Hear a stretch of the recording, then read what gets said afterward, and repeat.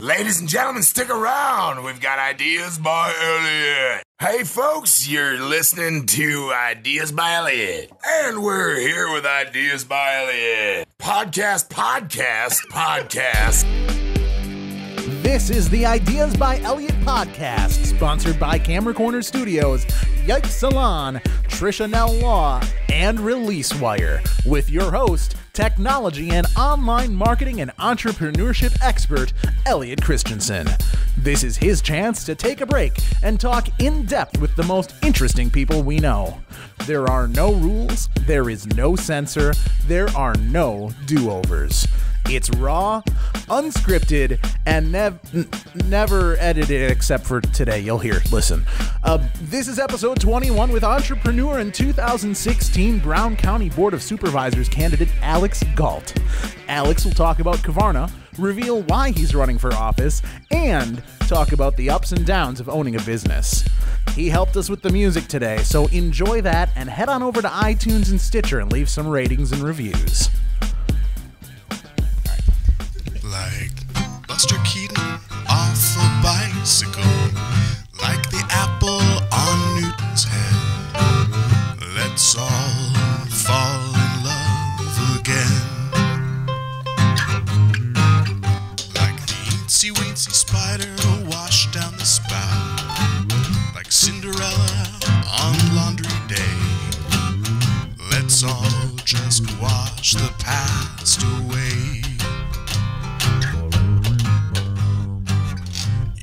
Say it's been real rough.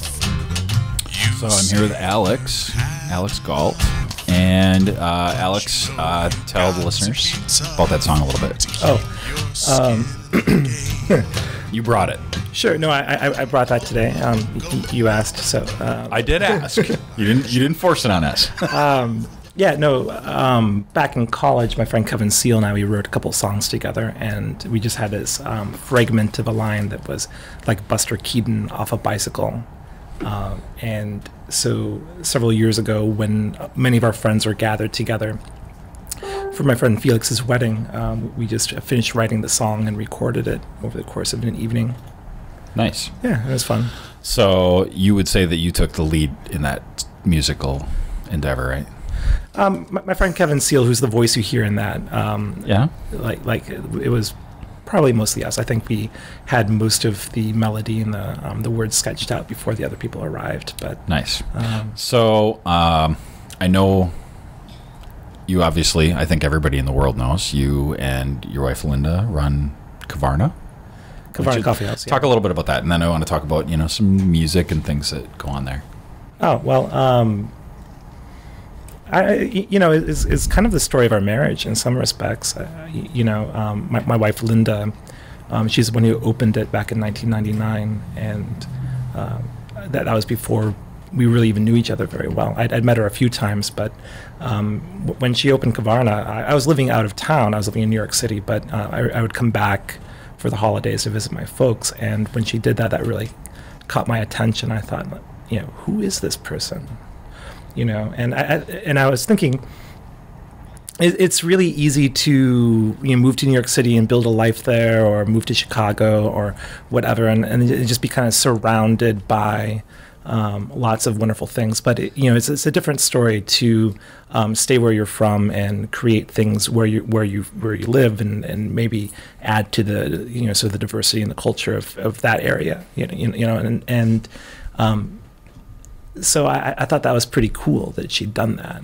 Um, and uh, so I remember um, when, when I was living in New York, I, I, um, I eventually I, thought I'd move back to the Midwest, and, Yeah. and part of my thinking was that um, I might possibly meet someone like Linda. Yeah. You know, um, because it, it, to me she was almost kind of like this like heroic archetype.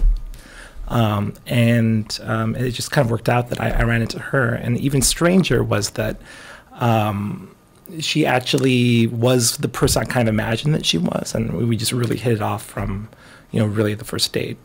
Wow. I Um, yeah. I yeah. see. I, I guess I, I kind of inferred some of that stuff. But, Yeah. Uh, I didn't know that. So but you're from Green Bay. I am from Green Bay, And yeah. so uh, you sound like a world traveler. So you uh, you lived in New York for a while.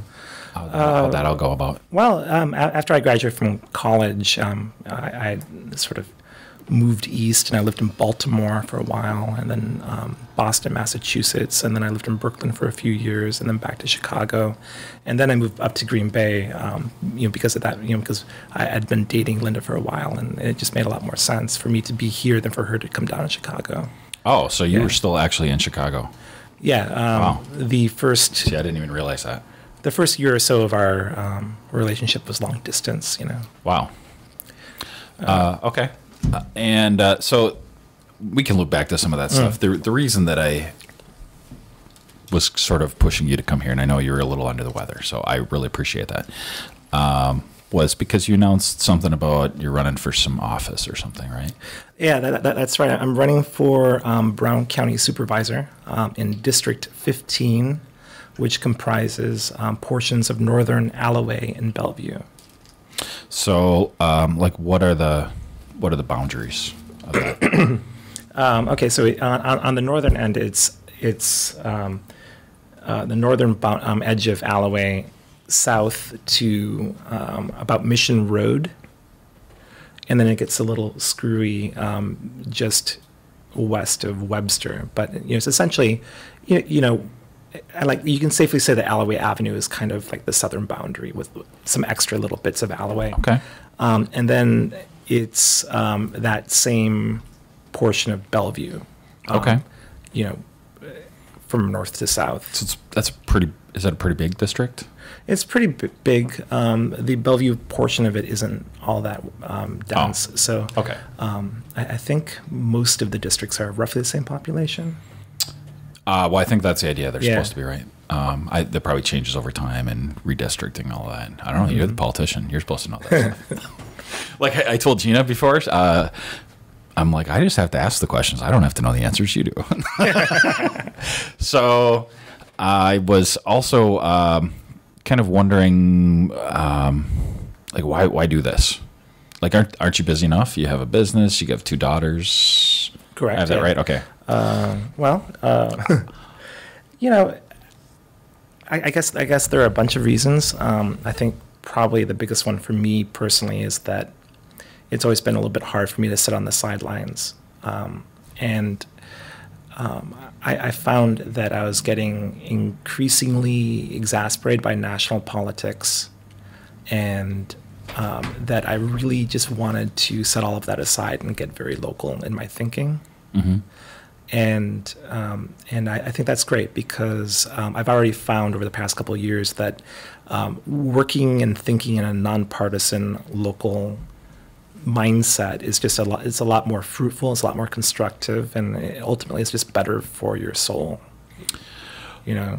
I mean that that see maybe you would be a good politician. Um, so when I was first, um, you know, when I first uh, was uh, on the board at on Broadway and was president, I got a I got a, a call from someone in the media, and uh, you know, off the record, he said, "Are you crazy?" it turns out I was. Yeah. Uh, and um, so, but I know what I, I I think I know what drives me, but like what what like what drives you to do that?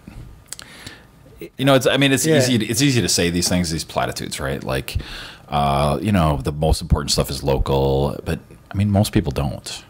Most people don't. I, I you know, I, I can't really respond to that. Uh, It's, it's, um, like I, I can respond to. it, I just can't really explain it very well. It, um, what it comes down to is, um, if, if, if I don't see the thing happening in the world that I want to happen, then I, you know, then I start thinking about doing that thing Right. and um, you know, oh, th- thank you.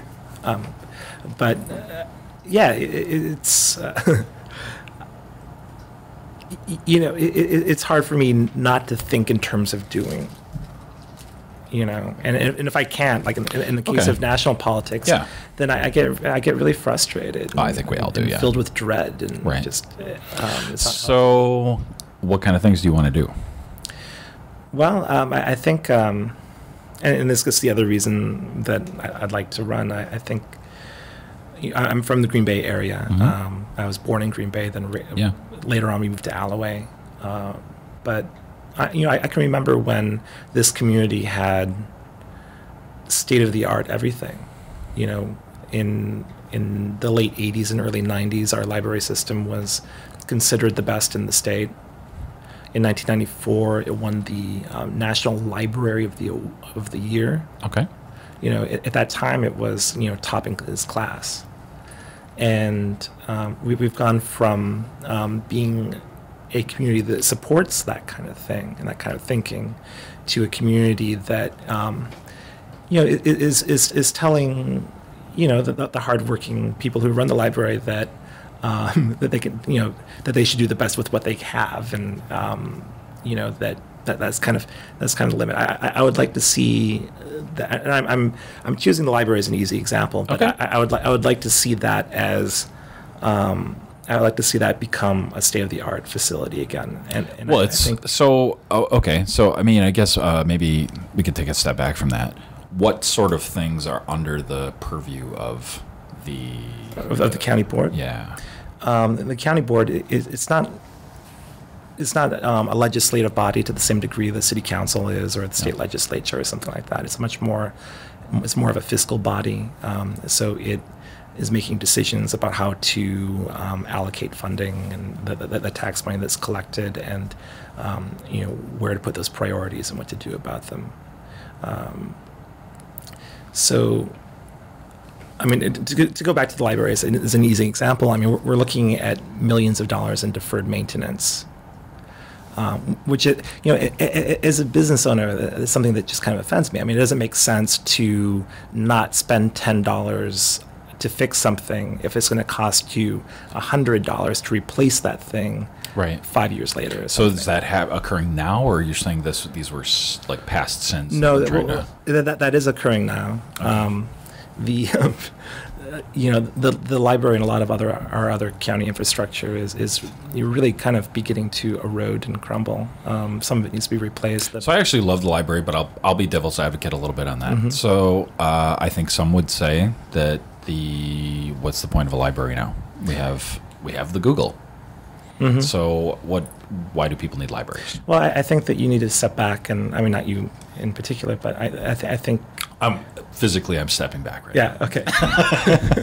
um, I mean, what is a library? I mean, in, in the in the for the past two thousand years, it's been a place to access printed material. Um, what so what's a library today when you know um, there, there, you know printed material is still very important, but it's only um, one aspect of the total information that, that we now have and generate. Um, I mean, what it really is is a place to interface with the world of information and um, wh- where I would love to see the library go, and I know it's already headed in this direction. I think it's under it's under good leadership right now. Um, but where I would like to see it go is is a place that has um, more of a continuing mission to help people access that information. You know, and, and I think that's very important because, and I was I was thinking about this a little bit this morning. Um, y- you know, why, why is Milwaukee the size it is, and why is Chicago the size it is? And it has a lot to do with geography.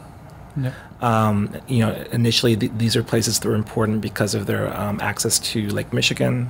Chicago became more important because of its um, importance as a railroad hub, and um, things like, you know, ships on the lake or um, you know the, these transportation networks i mean those also carried information with them you know and um, in a very real sense um, you, know like the geography of these places was dictated by their importance in terms of the information flow of the country you know as represented by you know physical things but also later on telegraphs and um, things of that nature you know um, and you know, I think in the future, um, the places that are going to be very important are the ones that uh, where there's a meaningful connection between the population and the internet.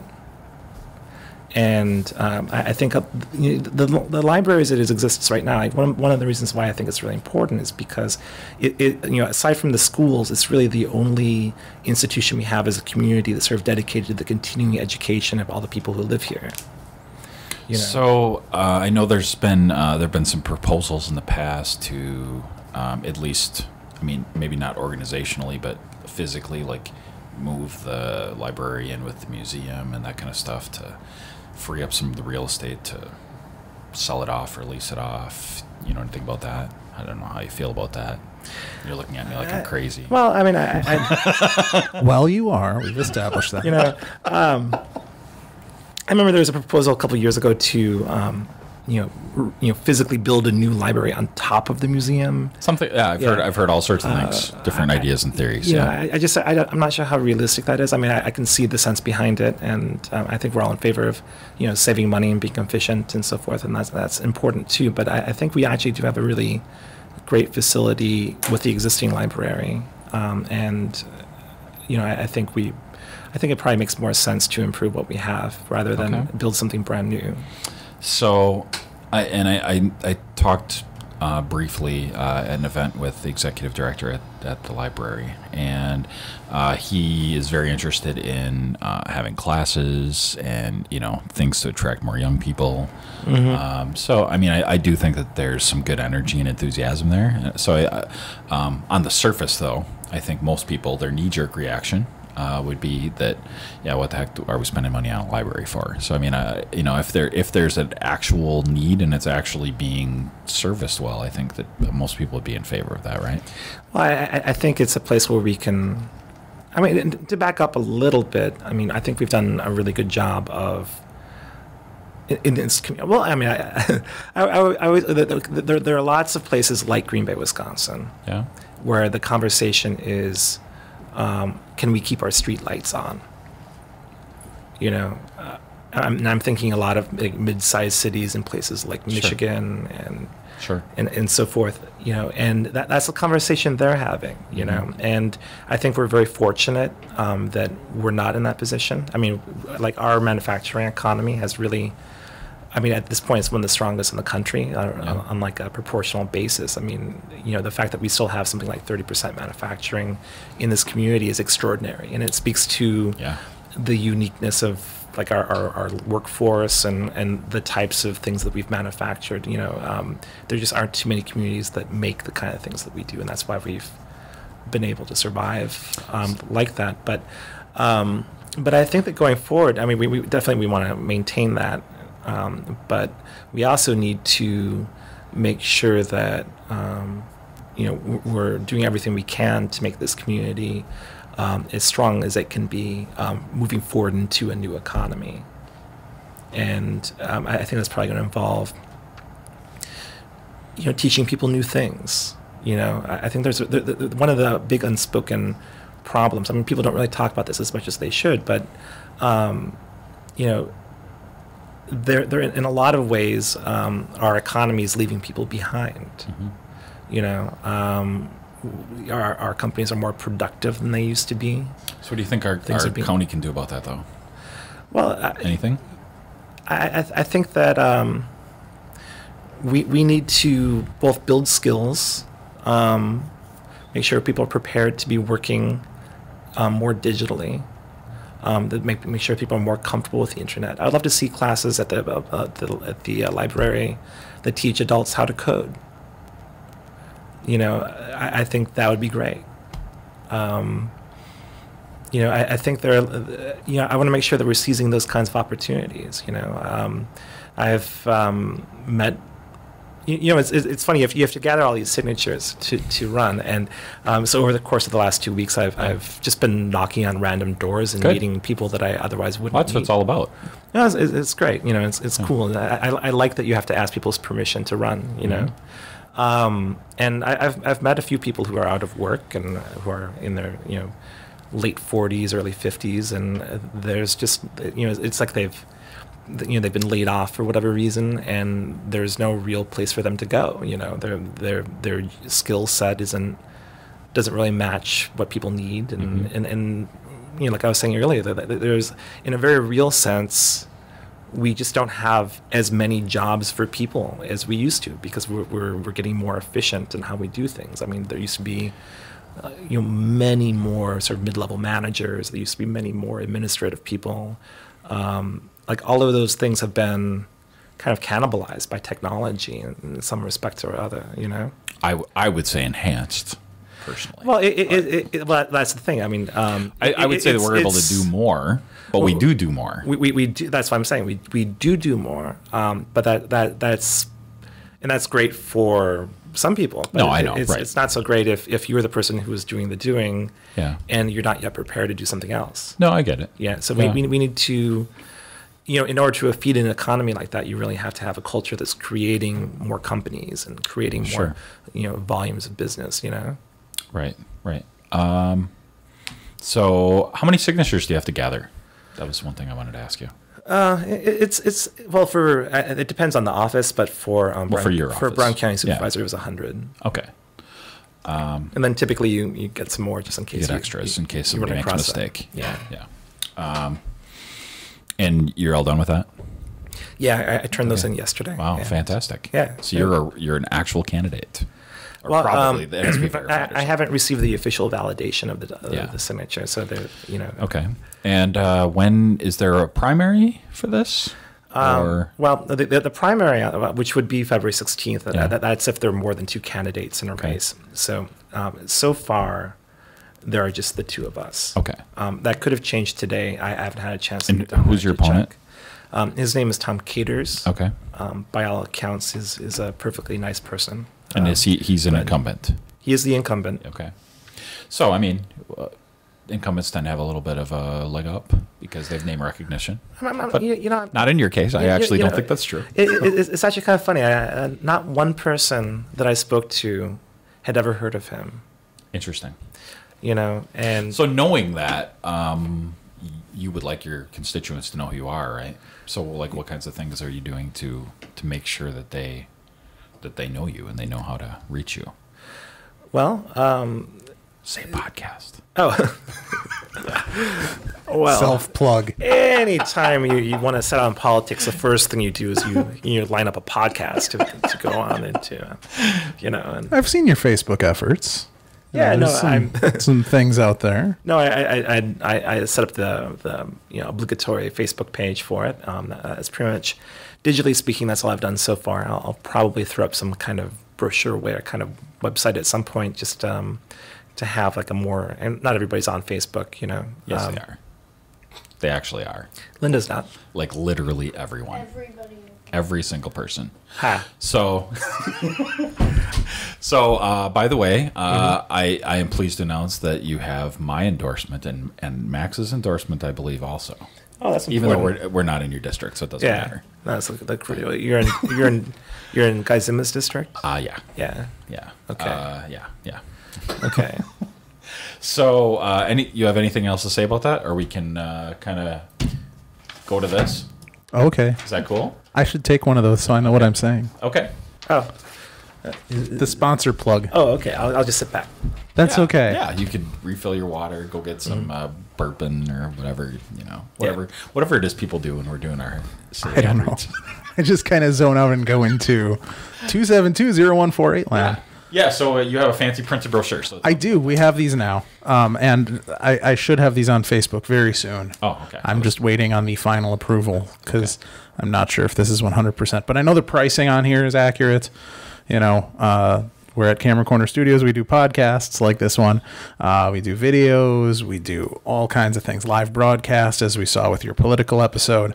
Uh, just contact us if you're interested in doing anything ranging from you know podcasting to video. You have to a package broadcast. for it. We do have packages. That's what the new flyer announces. Yeah. So like, um, you know, do it yourself package starts at 65 bucks an hour. Uh, the podcasting is like 150.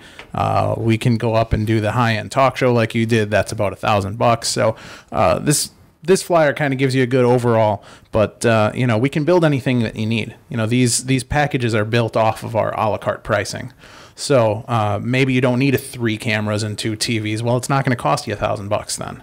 So uh, just the best way to find out how to use us is to give us a call at 920-272-0148. awesome. Was that quick enough? Uh, You know, you know that's a philosophical question because I, I really don't know how long ad read should be. Uh, but uh, Well, the industry tells us 30 seconds. yeah, well, Or two 15s in you, one you program. mean the dying media industry? Yes.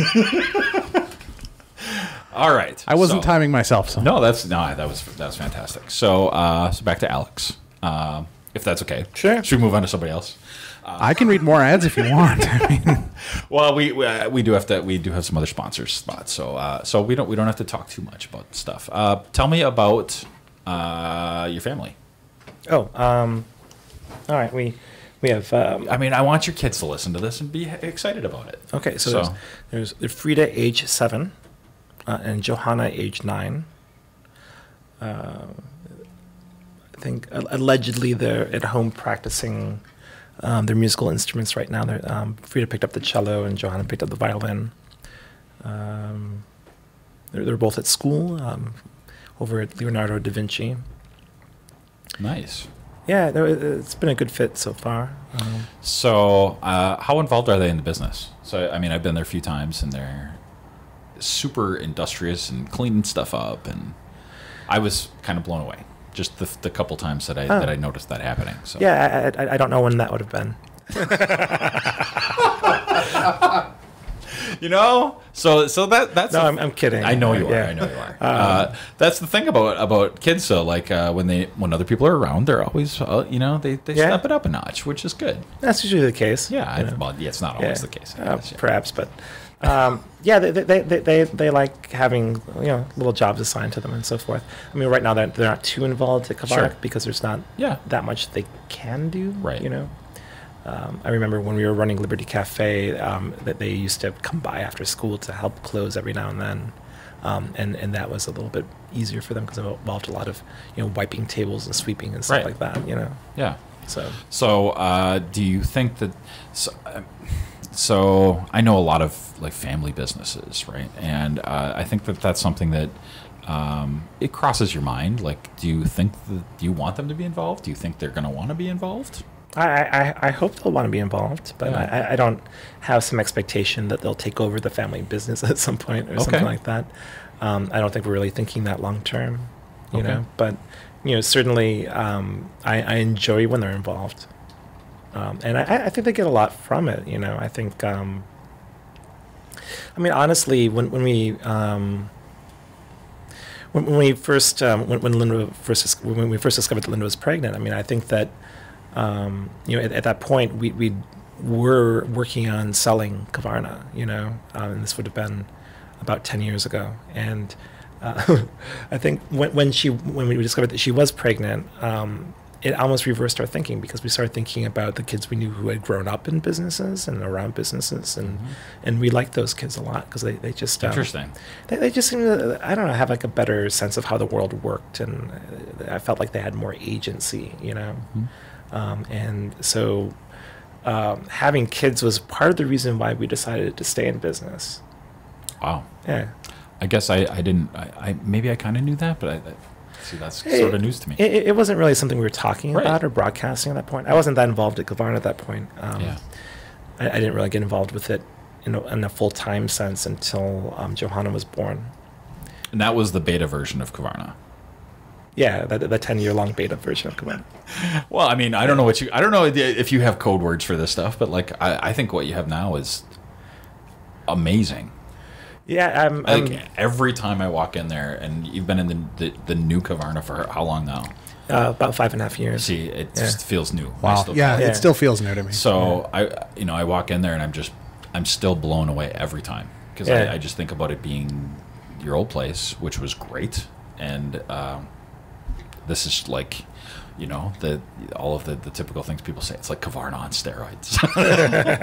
I, I just I love it. Uh, I love the multi layers. I love that it's a great venue for music. Um, I. I, I love that you expanded the menu a little bit and you you know you played with some of that stuff. sure Uh, I think all that stuff is great. Um, so on music, uh, I I was kind of wondering, maybe maybe you don't like picking favorites. So I'll, I'll you know if you if you feel uncomfortable with that, I'll sort of let you off the hook. But I was wondering if you had any favorites, you know, favorite artists that have performed at Kavarna. Sure. Yeah. No, I, I love talking about the people Yeah. who have performed at Kavarna. Um, we have a, a couple of people who, you know, at this point we're just kind of on their annual tour cycle. You know, Yeah. um, um, folks like um, Lil Rev, um, who's played at Kavarna many times. Sure. He's out of Milwaukee. He's probably, I don't know, one of the greatest ukulele players in the country. Um, we're just really fortunate. You're pretty good yourself. It's just like, like, like, not, uh, I think we're, we're before the before the podcast we're talking about the difference between a hack and a professional. Oh, right, right, and right, right. yeah, no, um, Lil Rev is a pro. Man. Okay. I mean, yeah, I mean, he's got it down. You know, you know, he, he can So you know Yeah. enough to recognize greatness, though. in ukulele playing. It's, it's not always evident in other things. Evi- evidently, I, I can't tell. I can't tell the difference. yeah. Um, but you know, it's it's fun. We we've had a lot of performers over the years, and um, it, it, it's a very small part of our business. Sure. Um, Yeah. Sadly, I've never been able to build it into anything that made any kind of business sense. So I mean, I, I kind of regard it as a hobby in some respects. Well, I know. I mean, I know you don't do it as a. I know it's not a huge Yeah. profit center. I, I No. th- but but that's that's why I would like to you know give you some props for that because that uh, I, I know it's extra work. I know Mm-hmm. it's. Uh, I don't know. You might even lose money on those days. I really don't know. But I, I- I'm not allowed to lose money on music anymore. yeah. um, you have a smart business partner. I I, I acknowledge. Um, yeah. Yeah. So I, um, I think I just think it's great. I think it's great when we have, um, you know, we have bars where there's music, right? Sure. And Well, this uh, is a place that's not a bar and is not a yeah, religious and- place. And, and- there's music, and, and, I and, and that's important to me. Really important. I, I Yeah. love. I mean, one of the things that um, you can find in the city, but you, you can't necessarily find in Green Bay, um, is uh, just the opportunity to accidentally bump into culture of different kinds. right. And so that's something I'm really, really excited about being able to provide to some degree. You know, I, I love when we have something like a like a string quartet or something playing, and you know, I mean, you, you could have, you, you know, anybody could wander in, and it's possible they've never seen a string quartet play Right. before. You know. Um, So- and we've had some very unusual things over the years. I mean, everything from Eastern European brass bands to, um, you know, gypsy jazz ensembles to, um, we, we, you know, you, you, you name it. I mean, uh, we've had very avant-garde classical music. Um, So you think? you- I, I know you know that this matters, but uh, and this is just a little bit anecdotal. Um, and it wasn't in Kavarna; it was actually in Austin. Um, I was there for a conference, and uh, in the off times of the conference, you know, I went exploring a little bit, and I went into this little coffee shop. Um, the people had relocated from, I think, from Philadelphia, and uh, opened a coffee shop down there. And this uh, this band was playing, and it was like crazy music that I would normally not be into. Like there was an accordion player and like a you know giant like I don't know what it was, bass, cello, something, and it was phenomenal. And uh, turned out these guys were from Hawaii. They were from Honolulu, and they were playing in Austin. And I was just talking to them. I got excited. I bought a T-shirt and I bought a CD from them, and uh, you know signed up for their stuff. Follow them all over their. You know they go all over the place now. Um, and this is the craziest thing. Maybe I told you this before, but I I, I, I don't I, I don't tell everybody. I guess I'm I'm wearing their T-shirt. I'm in Austin, Texas, the city of music. Right. I'm in Austin, Texas. I'm walking across the bridge, and this guy on a bike, this you know, bearded hipster looking dude, comes up to me and he's like, "Do you know those guys?" And keep in mind, they're not from there. yeah. I'm not from there. And the guy who stopped me wasn't from Austin either. He was from Chicago and went to college with one of the guys in the band from Honolulu who were in Austin. Blew my mind. So, like, that sort of serendipity made me feel like, Yeah. well, it made me feel like I was the king of music in Music City, USA. So that was pretty cool for 30 seconds, right? Um, but, uh, like, it matters.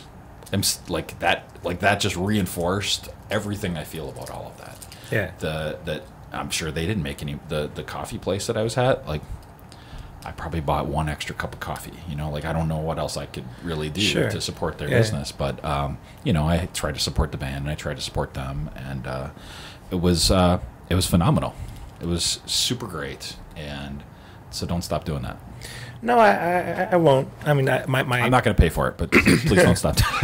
my, my, my, my enthusiasm for it, it, you know, it, it ebbs. It's tough. It, it ebbs and flows, you know. Yeah. Um, you know, sometimes it just catches and you have just an amazing night that's just transformative, and other times, you know, three people show up and you know, you sort of Right. kind of kind of smile awkwardly at everyone. And, and I don't know if you keep it up to date, but you have like you have a like Kavarna playlist, I think, somewhere right? On Spotify or oh, something. uh, yeah, I guess I, I, I guess I canceled my Spotify subscription. So, so I did too. I went to Apple Music, so I don't have it anymore. So maybe I No, shouldn't even talk about it. Yeah, no, I, I um, I eventually migrated over to. Um, I, I I loved having that though, and uh, that's great. Like yeah, that's a I- that's a fantastic way to promote those artists. Like I mean, maybe you didn't even know anybody was looking at it, but I certainly did. Um, and I like I didn't like wasn't you know studying it, but Yeah. you know it, it exposed me to like local music. Like, Sure.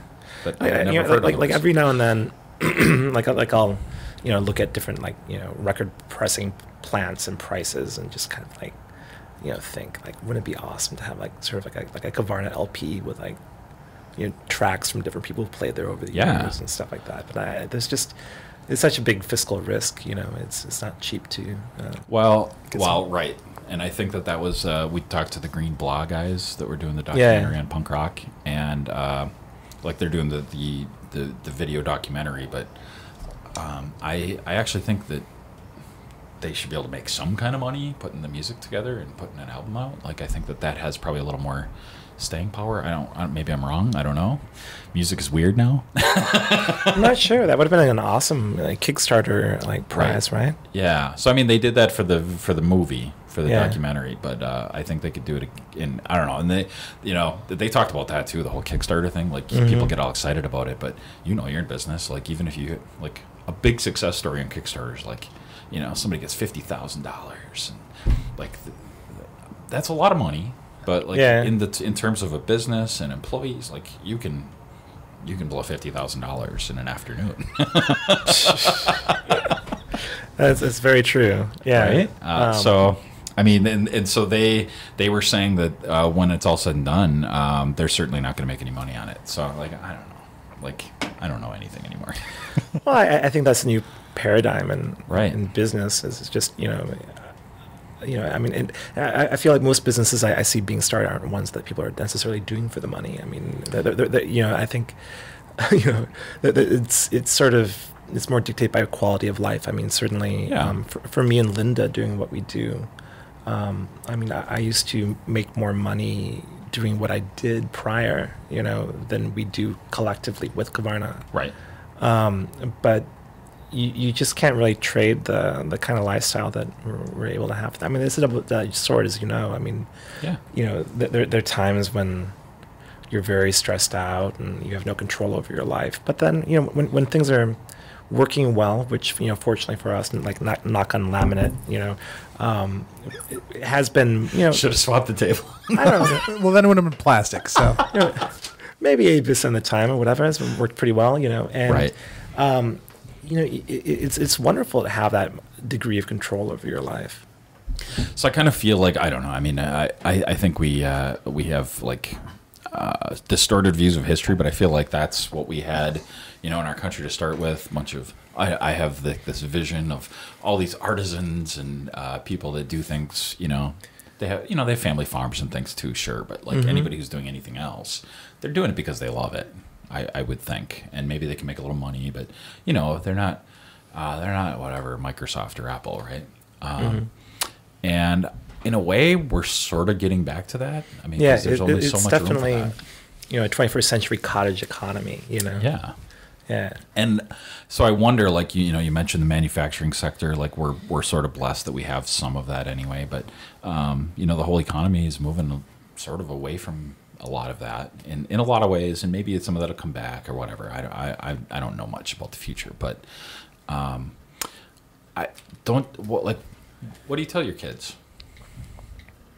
about how to prepare for you know when they're forty? You know. Well, it's difficult. I mean, I- I think you know, we're 40 somethings ish. And, That, I round down. I, I usually go for the 30, but um, I mean, the world of today isn't the world we necessarily prepared for when we were kids. You know. True. And, I mean, I remember, you know, I, I I I left my last job job in 1999, and at that time, it, it was kind of you had this sort of, on one hand, you can have security, you know, on the other hand, you can have like freedom or whatever, and that that trade off felt pretty real in 1999 Yeah. Uh, but today it's it's it's kind of like you can you can be insecure and free. Right. or you can be insecure and work for other people you know. Right. and and that, that's fine. I mean um you know there's certain things you can only do if you work for other people like you can't really be a professor on your own or something like that True. but um so so I'm, I, you know i'm you know it's it really comes down to what you want to be doing um, but I, I think at the end of the day, I think um, we need to teach our kids to be to be confident, and then to be fully literate in whatever the information technology is. You know, I mean, like I, I hope that my kids learned how to code. You know, I, I hope that they're fully able to engage with the way things work. You know, I, I want them to have a lot of media literacy. I want them to be able to, you know, see behind the headline and understand, you know, why it's being written, who's writing it, and what it means. So I do know how to code. And I actually think there's going to be less coding in Yeah? 30 years, absolutely. So like, uh, so that that almost feels like, but I don't know. Yeah. and and you know that's. Well, I, guess I, I guess thing. you know, code is my shorthand for just being No, comfortable with the technology. I know. You know. Yeah. And you're Yeah. probably saying that because you're talking to me, but it's uh, it's interesting because Mm-hmm. you know Max is over there in the corner and like, I don't know. Should I tell him to go to college and study what? Yeah. And uh, um, should I say don't go to college and then what? And I, you know, that so it's it's very. Um, I I don't feel like I struggled with these questions for myself. Mm-hmm. Whatever 20, 20 or thirty years ago, right? Um, but I do struggle with it for them. Uh, like I really don't know. Like it was pretty clear cut. I don't know how it was when you went to school, but like Oh, for, for me, I was I, going I'm to I was going to go to college. yeah, and, and, like, I, I'm the son of a college professor, so it was, Right. it was just it wasn't even. but it wasn't. I wasn't. But it was still sort of foregone conclusion. Yeah. Right. Like uh, you know, you're gonna you know study certain things. You're gonna take college prep classes in high school, and then you're Mm-hmm. gonna, of course, go to college. Partly because you took college prep classes in high school. Yeah. Uh, you know, and it like honestly, like I feel like it wasn't even a question at any point. It was maybe a question of where, but. Uh, I didn't have a lot of money, and so I would have loved to have, you know, gone out of state or something. But I mean, I, I- do think that you know if you if you're looking at college, I mean, I think it's more important to learn how to think and how to ask questions and how to access information and how to y- you know I think the the whys and the how are more important than the hows when it comes to that kind of education because I mean you know I, I didn't study anything technical in college um, but if I had all of that would be so completely outmoded at this point that it would be beyond useless you know Well, I I taught a class. Uh, well, I taught a few classes at, at NWTC, and the stuff I was teaching is totally useless now. yeah This was less than five years ago. Sure. It's 100% useless now. Yeah, no, I mean, the, the the speed at which you know new technology is iterated is, is, so fast that Yeah. that um, it's more important to learn how to learn than to Right. to to learn the thing. I mean, And if that's your shorthand for code, I agree 100%. yeah, that, that, that- that's what I'm getting at. you Yeah. know? I mean, um, b- before I I did um, Kavarna with with Linda, um, I, I was a, f- a freelance web developer, and um, nothing that I did back then is relevant today. No, like like nothing. and and I've I've seen friends of mine who are still in that world and what Mm-hmm. it takes to you know stay abreast of all of that. And you know, I just wasn't. You know, at the end of the day, I'm just not techni- you know technically minded enough to really even keep pace with that. That's you know. Yeah. Well, like I told the people in my class, I'm like, um, and uh, not to be super critical, but probably 90% of them really had no reason, no, no, they shouldn't have taken the class. It was, Yeah. you know, even that was over their head. And that's not a knock on them. It was, it's just not what they should have been doing. So I felt bad about it. Like they should, you should go do something else. Right. But, um, I, I leveled with them a lot. Um, you know, you have to eat and breathe, eat, live, eat and breathe this stuff. Right. And, um, and you're up against not not like people like me necessarily, but you know people better than me. Yeah. So, are you prepared for that? You're like, how are you preparing yourself? and, and it's global too. I mean, I, have, I have a friend It's who I have a friend who just set up a, um, a web design company, and um, she her entire staff is in India. yeah, interesting. You know, and, and and then half of them have PhDs. interesting. You know, um, so uh, that's what our our kids are up against. I mean, it, it, it's it's you know it's it's you know it, it's a level playing field in terms of you know ed- education and intelligence obviously you know um, but it's not a level playing field when it comes to um, the, the relativistic aspect of our economies you know i mean you know $10 here is $10 here $10 in india can you know Oh, absolutely. go a lot farther Did you so- ever read the book, The Four Hour Work Work Week? No no no Uh, you should. You'd like it. I mean, Yeah. Mm-hmm. uh, it kind of goes off the rails towards the end, like uh, actually implementing some of this stuff. But uh, there's a line in there where uh, Tim Ferriss is the author, and he said, um, uh, "Get paid in dollars, uh, pay in rupees." And I think that's that's Indian currency, right? yeah and uh, and spend money in pesos, meaning like live in Mexico. and, Yeah. you know, uh, and we do live in a global world where people can actually do that. And he outlined some of the crazy things he did to, to accomplish that. Some of it's a little bit shady because he's like he like had he had a job working for someone and like like there's expectations and like rules there and he's like Yeah. totally bend the rules and go do your own thing when, when, when I when I first this is just funny to me to think about when I first moved back to Green Bay. Yeah. Um, in August 2003, um, I I was running um, the website um, for the biggest hip hop radio station in New York City wow out of an apartment on West Walnut Street. right You know, I mean, so I mean, what you're talking about, uh, you know, it happens even within this country, within its borders. You know. happens within this street Yeah. So I was being Yeah. paid like New York wages to live. You know. Absolutely. Yeah, Yeah. and some of our best clients are from, you know, New York and Washington and Texas. Yeah. Like, uh, I don't know. I mean, some of it's like, not, you know, you're better because you're not local. Yeah. That, that, that, happens definitely here a lot. Yeah. you can't be good. You're from Green Bay. Yeah.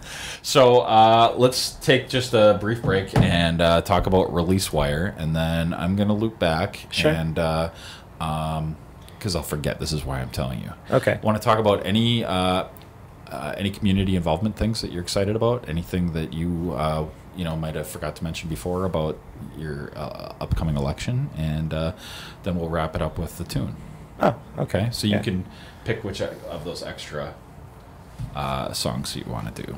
Um, or maybe Nick already did. So, um, I want to talk about ReleaseWire, and uh, ReleaseWire has a new project that they have, and uh, not not now and not the next episode, but uh, after that, uh, we're gonna talk about their new stuff. But it's uh, under wraps a little bit, and uh, And I, I'm just going to jump in. I heard some about it, and it's pretty cool. Uh, potentially, potentially. I had to sign all sorts of non-disclosures and stuff. I didn't sign anything, but during, And I'm like, I might say stuff. You know, I have loose lips. during that little break during your political thing, I talked to them about Oh, it. cool. And they're doing some cool stuff over there. Yeah, awesome. And uh, so, uh, they're the the current like uh, main business of ReleaseWire, uh, and you know, for the foreseeable future, I'm sure that's going to be remain their their main business. Um, and that was sort of the the the main thing of the the the uh, non-disclosures. I, you know, there's certain things that they have important clients. They have Oh, yeah. hundreds of thousands of clients, and they send. This is a press release service, and they're located right in Green Bay, and but they're totally virtual. They have clients from all over the world, and uh, uh, it's run by Daniel Jones, very much a family-run company, um, and. Uh, I would just encourage everyone to go. Anybody who's a small business person that wants to get the word out, uh, I would. You you can actually set up a free profile on there, and just go to releasewire.com, read up on their stuff. They have a uh, tons of information on their press release services. I know that they'll help people uh, fine tune their resume, uh, their, their uh, press releases, not resumes, uh, and they definitely help get uh, get them distributed. I forget the exact numbers, but it's like thousands of places online, and uh, Mr. Jones is a genius at this stuff. So go to releasewire.com, sign up, set up a profile, and get the word out for your small business. Yeah. I just use Jeff Mirkes. Um, so for lo- for local things, right? Sure. Yeah. Uh, so this is for you know businesses not lo- local, right? Yeah. Yeah. So, theor- uh, most of the, most of the people that we deal with here, I, I deal with local people, right? So, Yeah. Camera Corner Studios, Kavarna, right? so yeah, probably wouldn't be super super helpful for any of us. Um, yeah, that's interesting that you say that. Um, so you want to elaborate on that, or you want to move on to? Oh uh, no, he's. yeah. Um, I mean, I, I think. I mean, there, there- there, are many ways that we're fortunate in this Yeah. community, and and um, among them is to have um, like a handful of really very good, you, you know, like downtown-based organizations yeah. that exist. You know, Jeff Mirkes is um, he's the director of Downtown Green Bay Incorporated. He's a, totally a stand-up guy. It was been great to have. So around. you've had the you and uh, you've sort of mentioned that before. You've had the opportunity to work uh, in, to have businesses in De Pere and Mhm. in on you know in downtown Green Bay is sort of separated into downtown Green Bay Incorporated and on Broadway. So you've had opportunities to deal with all the organizations. Yeah, and um, I, they, they all have strengths. You Yeah. know, I mean, I, I, we probably don't want to get into some of the um, stuff with on Broadway over the years, but I mean, um, it, it definitely also has its strengths. It's your, I- it's I- your show. Have to say that once every time. Yeah, We get to talk about whatever you want, man. I, I, I don't know. It feels I- like Yeah. I, I don't want to revisit that. You know, No, that's fine. Yeah. Um, so, but I am curious, and one, one thing that I, uh, um, so you did have a couple of other businesses, Mm. and um, what did you learn from like that whole thing? And you know, elaborate a little bit on, Oh, on what yeah. all, what that was all Um, about. Well, you know, going back to uh, a couple years, we had this idea. Um, I mean, I, I think, well, I mean, one one of the central tensions in, in our life is, is the okay. So, you know, you don't necessarily want to do the same thing for your entire life, Right. And while we've enjoyed um, owning and running Kavarna, you know, eventually we might like to do some other things. But the problem is, you know, if you're, you're probably fortunate enough to create a a family-sustaining business in the first place. So if you want to, if you, you know, if, if you if you can't sell your business for enough to retire on, which which is you know kind of a fantasy um, for for us anyway, Yeah. um, then like how do you dismount from one thing and then move into a different thing? So. Um, a couple years ago, we had this idea that um, you know maybe it'd be a good idea to have. Yeah, I was calling it a, like a bouquet of like smaller businesses, Mhm. and um, that would be simpler to run. Um, the and and so you know we, we did the Liberty Cafe um, on on the east side on Adams Street, and then we also did the Lock Tender's House in De Pere, um, and th- those were really fun projects, and we re- really loved doing that. Um, but ultimately, we they, they weren't simple. Really? you know, yeah. So I, I, we we had this idea that they would be, I don't know, kind of you know, once we set them going, like that they could just kind of like move in like watch work or something. You know, they would just kind of like keep on going on their own. You know, Right. but um, that, that just never really proved to be the case, um, and th- they were really requiring a lot of our time and energy and attention. Um, which meant that we were pulling energy away from Kavarna um, and also from our family, you know, which, which is, um, you know, problematic. So, like, you know, at the end of the day, what we discovered was that um, by doing that, we like our overall quality of life was just really like, like going down the tubes. You know, Mhm. like uh, I think we were we were just really stressed out for about a year. So, um, you familiar with the the book The E Myth? I, I don't I don't read books about. So I sound I sound yeah. very intellectual. Yeah. Like I read all these books. I've probably read three books my whole life. Yeah. Um, so, um, so the concept behind the E Myth is um, there are different types of people that are attracted to being entrepreneurs, and Mhm. so there's the uh, I'm going to get this a little bit wrong, but the idea is there's like the entrepreneur, there's like the uh, and I forget what they called it, like the uh, the person who like you know kind of chops wood and carries water, right? Mm. And then uh, then like a management type, right?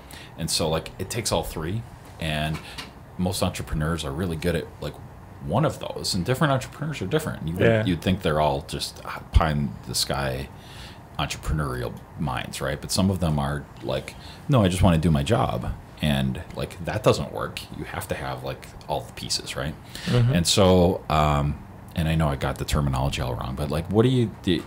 Do you think that that was something that could have ever worked, or do you think that that was something that was just never meant to be? Like, how do you look at that, or what you what you walk Well, I, I think um, if Lynn and I have a weak point, is is definitely management. okay, You know, uh, we're, we're very much we're introverted liberal arts style entrepreneurs. You know, um, you know, I, I always I like to tell people that like like Kavarna kind of runs a little bit like uh, like a bee flies. You know, like there, there, there's that anecdote about how a scientist studied a bumblebee and realized that on paper it was physically impossible for it to actually fly. You know, Yeah. and that, that's kind of how Kavarna operates. Like like we don't know exactly why it works. You know, but it you know it, so far it has. Um, and you know, like I don't know, like, like, like, like Linda's definitely has the numbers better than I do, but um, Well, you do But- have a formula. I mean, there's something there that works. I, I so one key to in the E Myth and and sort of on the other book that I mentioned too. Like I don't know why I'm quoting books all of a sudden, but um, there's this idea in business that you sort of make a system and then you Yeah. replicate it, right? And it sounds like that was sort of like you know maybe not you're not articulating it the same way. That that was sort of the thought process there. Yeah, we, we- we definitely have our have systems in, Yeah. in, in place. Um, you know, I, I was pretty proud of the the uh, soup system that we had at, at, at, Yeah. Liberty. Um, you know, because we were able to, you know, really just have like like a fixed set of ingredients from which we were able to make about 17 or 18 different soups on the fly. wow, Yeah. that's cool. It it was pretty cool. I, I've never Yeah. seen anyone else quite do that. I mean, it was it was kind of we, we, we, we thought of it as a sandwich shop, except that um, the different stocks and bras that we had that, that was like the bread, Okay. you know. Um, so we, we, you know we had all those things on hand, so we could quickly combine, you know, um, you know, chicken stock with like a tomato base and add these Yeah. ingredients, and you know you, you can just quickly assemble something. Um, so, so we, you know, we, we enjoy coming up with that kind of stuff. Um, but you know, like like you know, r- running r- running like all these businesses, it really it was taking a lot of our time. And um, Interesting. And I, I think you know we, we continue to think about um, what we can do next, um, um, and you know, but most of our plans at this point don't involve um, you know restaurants and retail, and the you know like there, there's just so many moving parts, you know. Right. So you'd like to get out of, like, not get out of, but like if you do something additionally, you'd like it to be something completely different. Yeah, you know, I mean, you, you never know what's going to happen, so you, you kind of want to have y- a couple moves, you know. Absolutely. I mean, Yeah, I- obviously, obviously, I can completely relate, right? Yeah. Uh, so, uh, do you, anything else that you think is worth mentioning about the uh, the the county board thing? Well, um, you know, I, I think it's important that people vote. You know, Okay. I would say it's. I, I would like to think that it would be good for them to vote for me, and um, so, if somebody is interested in like learning more about Okay. how you feel, Yeah, is there a way they can I am- contact you? I am um, still the beginning stages of all of this. I mean, I basically, I basically decided to. I'm putting you on the spot. I, I basically decided to run. Then I was hit by the holiday season, and here we are in January. Um, I, I'm I'm working on getting some stuff together that I can put out there, that share with people. Okay. Um, I'll probably have more of that together by the end of January. But you you do have uh, Facebook. Um, thing, for, for the time being, I have um, a Facebook page. Um, Do you have it there? Because I, I can't remember the URL. It's, it's just, Yeah. um, you know, facebook.com galt for Brown County. That's Yep. G A L T for Brown County. Um, and um, I, I'd re- be really happy to have conversations with people in that space. Um, What's that photo? uh, well, that photo's just a, was that like a 19th century map of Green Bay? Is that what it is? yeah. 19th century? Yeah. Uh, I mean, that, I guess that's what it looks like, yeah. Yeah. Um, all right. Uh, I, any? Well, I, I think, I mean, to get back to that, I, I just. Um, I'm getting weird messages. Yeah. Oh. I'm getting bombarded with messages. Sorry. Yeah. Rude people Um, interrupting our time. I mean, I, I think there's something like 8,000 people in, in my In district. district. Yeah. Okay. Um, I'm not sure where I'm pulling that number from, but. Um, and probably sounds about right. something like right. 800 of them vote. Okay. You know, and I, I I would love to see the participation level in local politics. Boy, that could easily double, right? Well, I- it, it'll it'll be more this year because of the primaries, on the presidential primaries. But Uh, Um, right. Right. So, do you know when voting day is? April 5th. Okay. So April 5th, which is a Tuesday. So, right? Yeah, it's, it's the, Well, I know uh, that's always the joke, fir- right? the, the, the first Tuesday in April, right? when you want when you want when uh, what what they would say Wednesday when it, when you don't want people. Oh, to vote, right? yeah. No, no, no. Yeah. Like uh, you know, Democrats will tell Republicans, "Oh, don't forget to vote on Wednesday." I don't. Maybe I'm the only one that's ever heard that. I have no idea. Yeah, I think that's just you being mean. Really? I've never actually Yeah. said that to anyone. Well, you just said it to a thousand people. Well, we actually, uh, I, you know what? I actually think there'll be a lot more because Alex is a pretty popular dude. Um, so Yeah. uh, that's all I got. So, Yeah. uh, which track are we playing Um, wow. to close okay. out? You have a Unless you have anything else to throw in there? No, okay. So this is um. Oh, you know what? We do have one, just one quick little thing. Like, how how, how would somebody find out more about Kavarna? Oh, um, Kavarna.com. That's K A V A R N A.com.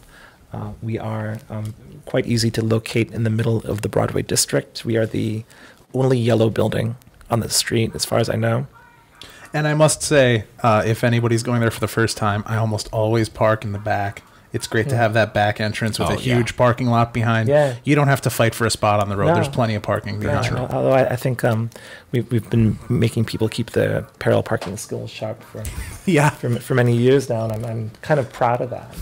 You know, Well, I'm I still am terrible.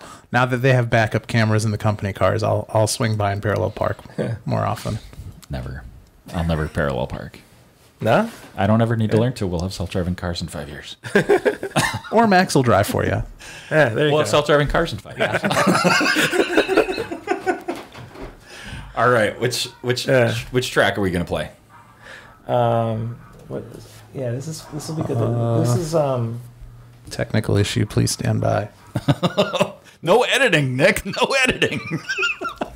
This was a song that um, my friend Kevin Seal and I started writing at some point in college, and then he finished it probably about ten years ago. And it actually, I think it was um, a part of a, um, a musical about a you know multi like an interdimensional zombie that travels through space and time.